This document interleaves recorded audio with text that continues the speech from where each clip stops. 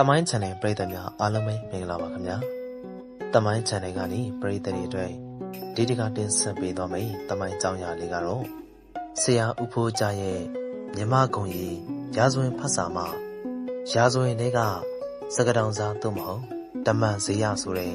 တမိုင်းကြောင်းလေးကိုတင်ဆက်ပေးသွားမှာဖြစ်ပါတယ်ခင်ဗျာတက္ကရီ933ကိုအင်းဝမှာ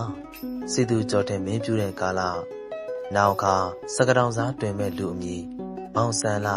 ရှင်တာမနဲ့အမည်ရှင်ညာနာအမည်ရှိတဲ့သူဟာကျောင်းမထွက်တဲ့အခါမှာတရပတ်သမားနဲ့တင့်မြန်ပြီးတော့ရောက်ခမအိမ်မှာနေတယ်။မှတ်ချက်ပွဲလျက်ရှင်နံငားစီစားတာတွေကိုရောနှောပြီးကြိုထားတာကိုတရပတ်ဟုခေါ်ပြီးတော့လှေဖာထေးရမှာတုံးရတယ်။အဲဒီတရပတ်ကိုဆွဲပြီးတော့လေထေးတဲ့ယောက်ျားမိန်းမတွေကိုတရပတ်သမားတရပတ်သမားလို့ခေါ်တယ်။ အဲ့ဒီသူဟာရာဇဝင်ပုံပြင်စတာတွေကိုသာလေ့လာနေတာကြောင့်ရောက်ခမကမြေတော်တာကြောင့်တနေ့မှာ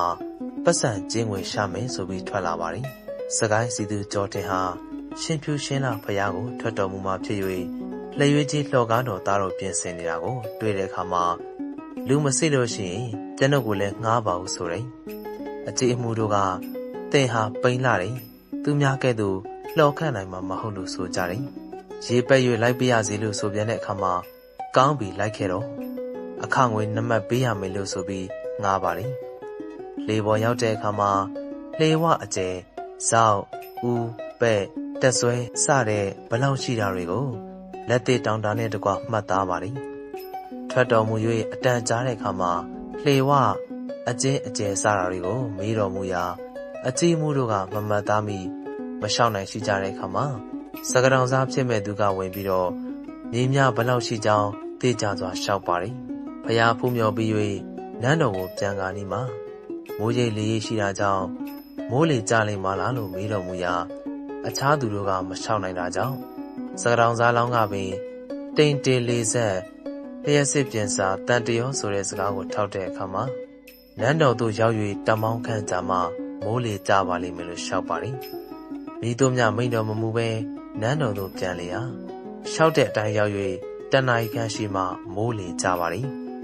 နောက်တနေ့ကျမှဘရင်ဟာလက်ရွေးကြီးထောင်ကဲတို့ကိုယမန်နေ့ကလှေဝအကျဲစားတယ်မိုးလေကြမယ်စားတာတွေကိုရှောက်သူကဘသူလဲလို့မေးတော်မူတယ်လူမစစ်၍တရပတ်သမလင်ကိုငှားရပါကြောင်းအမည်ကိုမသိပါကြောင်းရှောက်ကြတယ်ရှာဖွေခုံငင်ခဲ့ရန်မိန်တော်မူ၍ရှေ့တော်ရောက်တဲ့အခါမှာ ရာဇဝင်ထုံးစံပုံပြင်ဝတ္ထုစတာတွေကိုမေးတော်မူတယ်။တခုမတန်တာယာရင်ကျေးတဲ့စကားနဲ့ရှောက်ပါလေ။မင်းကြီးလည်းသုံးရမဲ့သူဖြစ်တယ်လို့အပားတော်မှာခါစားစေတော်မူတယ်။နယပတိစီသူကျော်တင်ဟာဟန်တော်ဒီဆင်ပြူရှင်ထံကိုစကတောင်စားကိုလက်ဆောင်ပနာများနဲ့ဆေလွတ်တော်မူတယ်။စကတောင်စားရောက်တဲ့အခါမှာဆင်ဖြူများရှင်ကမိမိရဲ့မွန်အမတ်ပညာရှိပညာဒလကို စကတောင်စားကို၎င်းအမှုအမှတ်အားလုံးကို၎င်းအသင်အင်ကိုလာစေမယ်အသင်ဟောပြောစုံစမ်းရမယ်လို့မိန့်တော်မူတယ်။ဗညာဒလအိမ်မှာမူမတ်အစုံလေရောက်ကြတဲ့အခါမှာဗညာဒလထိုင်ရန်ဖထိုင်ထိုင်စရာဖုံတတောင်တသားကို အုံပန်းနဲ့တကွပြင်ဆင်ထားတယ်။ဖထိုင်ချင်းကစကရောင်စားထိုင်ရန်တင်ဖြူခင်းထားပြီးတဲ့အခါမှာစကရောင်စားကိုစောင့်နေကြတယ်။စကရောင်စားလဲပစိုးအင်းကြီး ဘောင်းတုံအနေချေဝလာပြီလေမူးပုံမပေါင်းအလဲမှာခင်းကျင်းထားတဲ့တင်ပြူပေါ်မှာပေါင်ထောင်လေးရဲ့မကြောင်မယွန်နေတယ်။ဗညာဒလဟာမထွက်မီတကားကြားကချောင်းကြည့်မြင်တဲ့အခါမှာအံပွက်တည်းရဲ့ရှိတယ်လို့အောက်မေ့ပြီးမှမင်းဝမင်းစားကောင်းစွာတက်ဆင်ပြီးလျင်ထွက်၍ဖထိုင်ထက်မှထိုင်နေ။အဲ့ဒီခါမှာစကတောင်ဇာဟာတင်ပြူမှရုပ်ချီထားပြီးတော့ဖထိုင်တက်ကိုတက်မြည်ပြုတဲ့ခါမှာဗညာဒလကလက်လန်းလင်းတာကို စကတောင်စားကလက်ကုံမပေးဘဲတက်၍သာနေတယ်။ပညာဒလလည်းထူးဆန်းလာတယ်လို့အောက်မိတယ်။ပညာဒလလည်းသူ့သခင်နဲ့ငါသခင်အဖက်မလို့စေပဲသူ့သခင်နဲ့ငါနဲ့သာအဖက်လို့၍စကားဆိုမယ်လို့ကြံလေ။အင်းဝါမင်းနေရပတိစီသူကြောတင်ကျမ်းမာတော်မူပါဤလားလို့မေးတယ်။စကတောင်စားကရိပ်မိ၍ငါတို့သခင်ကျမ်းမာတော်မူတာကြောင့်ဆင်ဖြူသခင်ကျမ်းမာကြောင်းကိုသိလိုတာကြောင့်ငါ့ကိုစေလိုက်တယ်လို့ပြန်ပြောပါလိမ့်။ အဲ့ဒီခါမှာဗညာဒလဟာပြန်ဖြေတဲ့အတိတ်ပဲကိုသိ၍အံ့ဩပါလေအဲ့ဒီနောက်စကတောင်စားရဲရင်ကြောင်းအပြောဆိုလိမ်မာအကြောင်းကိုချိန်မွန်ပြီးတော့မင်းကြီးအားလျှောက်တယ်။အဲ့ဒီနောက်ဗညာတလကအရှင်မင်းကြီးစကတောင်စားရဲ့အသေးလိမ်မာကိုကသိရပါပြီ။အကျစ်အလက်ကိုသိလိုပါသေးတယ်လို့လျှောက်ပြီးတော့ဤသို့စုံစမ်းပါလေ။တင်ဖြူခင်း၍ရေအပြစ်နဲ့ရွှေကရားရွှေပလအလွတ်တလုံး ငွေပလအလွတ်တလုံးတို့ကိုထားတယ်။ထမင်းပွဲကိုငွေလင်ပန်းမှာအနားမမြင်အောင်ထမင်းထည့်ပြီးမှအပေါ်ကအမဲပေါင်းအချစ်အကျော်အကင်စတဲ့အရာသားတို့ကိုအထက်ထက်ဖြစ်ပြီးတော့ထားတယ်။အဲ့လိုဘရင်ရှိတော်မှာပြင်ဆင်ပြီးမှစကတောင်စားကိုခေါ်ယူကျွေးမွေးရတယ်။စကတောင်စားမြင်တဲ့အခါမှာမိမိကိုစမ်းတယ်လို့သိတာကြောင့်ဤသို့စားပါတယ်။ရွှေကရားကရေကိုရွှေပလန်းမှာထည့်ပြီးတော့ ကရားကိုအညာထည့်ထားပြီးမှ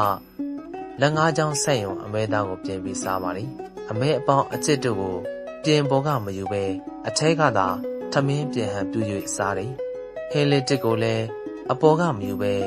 လက်နှစ်၍အထဲကသာယူကစားတယ်။စားပန်များတဲ့အခါမှာထမင်းမပေါ်ဘဲတရွရွနှင်းကကြာသွားတယ်။ပြီးမှရွှေဖလားမှာရေတောက်၍ငွေဖလားမှာလက်စေတယ်။အဲ့ဒီနောက်မှာပျော်ဟော၍နေတယ်။ ဗညာတလလည်းထမင်းပွဲကိုကြည့်တဲ့အခါမှာဟဲလျာတို့ဟာအောက်ထမင်းဘက်ကတချမ်းစီကုန်းပြီးတော့အပေါ်ဘက်ကအနှဲငယ်များမလစ်လက်တာကိုမြင်ရပါတယ်။စကတောင်စားကတဲကိုပြန်တဲ့အခါမှာဗညာဒလကပကျင်အားစကတောင်စားဟာအစာတော့အချစ်လေးဘက်မှာလဲစူဖွဲမရှိကြောင်းအံ့ဩဖွယ်ရှိကြောင်းများကိုရှောက်ပါတယ်။ဘရင်ဟာမူးမတ်ပူပါပြိတ္တများစွာနဲ့တပင်ခံတော်မူ၍ စကတောင်စားကိုမင်းမြတ်တော်မူသည်မှာအင်းဝနယပတိစီသူကျမ်းမာပါ၏လောယတနာသုံးပါးကုံတော်ကြောင့်ကျွန်တော်တို့သခင်ကျမ်းမာပါ၏ယခုငါခံတဲ့ပွဲကဲ့သို့အင်းဝမှာစီကားတဲ့ပွဲများရှိပါ၏လောအင်းဝမှာပွဲသပင်များလာပါတယ်ဒူပါယုံစီတီထိတင်ပွဲပြီး၍ပွဲဆဲသည်များလောက်နဲ့ယခုပွဲသပင်နဲ့တူပါတယ်အင်းဝရွှေနှမ်းရင်မြင့်ဟာကျဲပါ၏လောအရှင်မင်းကြီးရဲ့ ရွှေနှမ်းရင်မြင့်ထက်တဒါကျဲပါတယ်တဒါကျဲချောင်းကိုမိတို့သိသည်နီအကျွန်ုပ်ရဲ့ခြေလမ်းမှာတာပါတာကြောင့်သိပါတယ်။အဲ့ဒီအခါမှာအင်းဝါကိုအမြန်သွားပြီးတော့တိုင်းစီဟာစင်စစ်ပင်တရားကျဲချောင်းတွေ့ရတယ်။အဲ့ဒီနောက်မေဒီယာကြီးဟာစုလက်များစွာပေးသနာပြီးတော့အင်းဝါကိုပြန်၍လွတ်တော်မူတယ်။စီသူကျော်ထင်းကပေးတဲ့အမည်မှာတမန်စေရဖြစ်တယ်။၎င်းနောက် တက်ဂရိ916ခုနှစ်မှာဟန်တောင်ဒီဆင်ဖြူရှင်ဘရင်တော်မေဒီယာကြီးဟာအင်းဝါကိုလှုပ်ကြံပြီးရတော်မူတဲ့အခါမှာတမန်ဇေယကိုရခဲ့၏လို့လို့ရှေးဥစွာမေးမြန်းတော်မူတယ်။ရခဲ့ကြောင်းရှောက်မှစကတောင်ရွာကိုပေးပြီးတော့ချီးမြှင့်တော်မူတယ်။အဲ့ဒီခါမှာစကတောင်ဇာဟုတွင်ပါလေ။အဲ့ဒီနောက်ဟန်တောင်ဒီဆင်ဖြူရှင်ကစကတောင်ဇာကိုရခိုင်သို့စေတော်မူတယ်။ရောက်တဲ့အခါမှာရခိုင်မင်းဟာ နှာခေါင်းရှည်သည်ဖြစ်၍မူမတ်တို့ကမုံမကြည့်ဝွန်ရှိကြသည်ကိုစကတောင်ဇာကတီးပြီးဖြစ်တာနဲ့သင်တို့ရက်မှာမြည်သည့်အစားအစာကိုစားသည်လို့မေးတော်မူတဲ့အခါမှာဟင်းလျာကိုညင်းငွေ၍ကစုံညွန့်များကိုမဖြတ်ပဲကြော်၍စားကြပါလေလို့ရှောက်ပါလိရခိုင်မင်းလည်းအကျင့်လေးကိုသိလို့၍လင်ပန်းတစ်ခုထဲမှာဓမင်းထက်လျက်အပေါ်ကဟင်းလျာမျိုးစုံထက်ကကျွေးတယ်ကစုံကြော်ကိုလည်းပါစေတယ်စကတောင်စားလည်း ရခင်ဟန်တော်ရီမှာကဲ့သို့အောက်ကနှိုက်ပြီးတော့စားတယ်ကစုံညွန့်ကိုတော့တစကိုမြောက်ကန်ပြီးမှမောလျက်အောက်စားကနေစားမျိုးတယ်ရခိုင်ပြည်မြင်းတဲ့အခါမှာမိမိနှာတန်ရှိတာကိုကြည့်ရအောင်ကြံစီ၍စားကြောင်ရိပ်မိမှပြုံးရည်ပြီးတော့မောင်မင်းတို့ပြည်မှာငါကဲ့သို့နှာတန်ရှိသူရှိသလားလို့မေးတော်မူရာရှိပါသည်ဟုလျှောက်ပါလိအဲ့လိုလျှောက်တဲ့အတိုင်းဟန်သာဝတီတို့ရခိုင်များလာတဲ့အခါမှာ စင်ကိုပြတယ်လို့ဆိုပါတယ်။လူမြည်ဥဆန်လာ